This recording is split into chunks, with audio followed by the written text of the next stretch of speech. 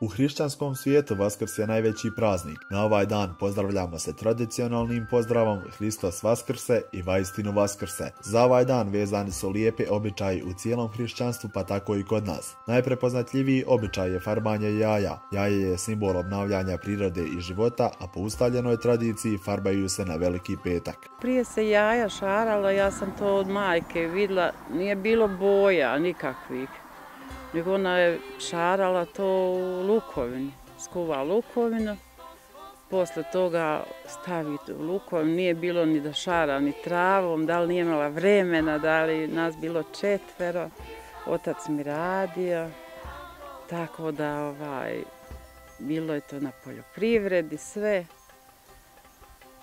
I tako, a sada sve je drugovačije, sad imaju farbe, svako razne, kakve hoćeš, crvena, zelena, plava i tako.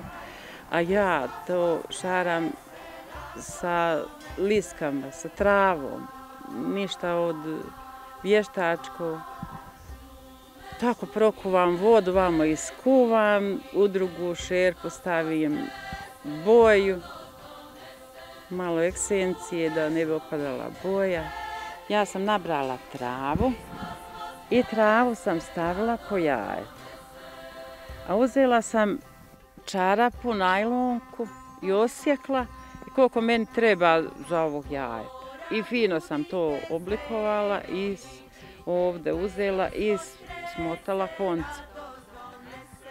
I sve tako jedno po jedno, sve razne trave, sve tako. I onda sam desetu u plavoj, deset u crvenoj, deset u zelenoj. Tako da sve to razno, interesovala sam sve da bude lijepo.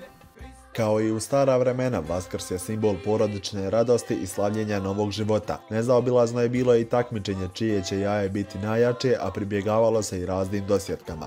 Moj brat napravio drveno jaje, to napravio i ofarbo i to sve, sve i u školi, sve, sve jaja, šta je to kao dugo, dugo nisu skontali da je to jaje drveno. Baka Milojka svjesna je da je mlađim pokoljenjima važno prenijeti tračak tradicije koja će ostati u njihovom sjećanju za dane koji dolaze. Bila mi unuka i da se okadimo i tako, ajde reko sine da se okadiš, ono mene je gurno od sebe. Nemoj tako ena da radiš, to se mora da okadi, mis, moramo da živimo, mora da ideš u školu, da porasteš, bez Boga nema ni da rasteš, ni da, ma ništa nema. Tako sam joj pričala. Da i mlade ruke čuvaju tradiciju, govori nastavak naše priče. Želim da vam čestitam najveći i najradosniji hrišćanski praznik, Vaskrs, i našim tradicionalnim pozdravom Hristos Vaskrse. Danas sam tu da vam predstavim nekoliko tehnika šaranja jaja. Prije se to radilo na starinski način, nisu postojale boje, farbala se jaja u lukovini, a danas postoji mnogo drugih načina. Ja sam odabrala dvije.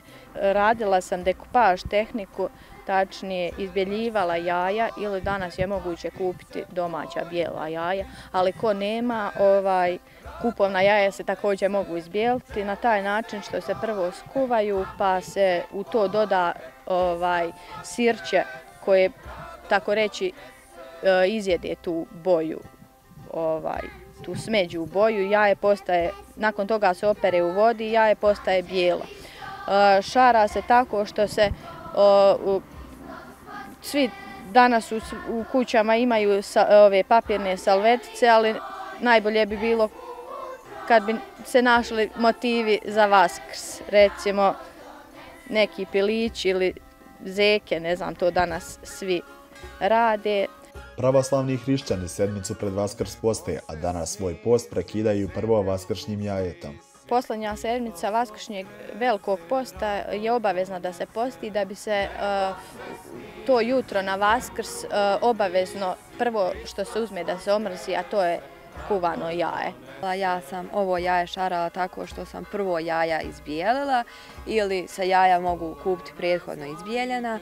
E, i kad sam ga izbijela i posušila, crtala sam temperama i markerima koji se koriste za šaranje jaja i to je po meni naj, nekako najljepša tehnika i može baš lijepo da se svašta nacrta na jaje.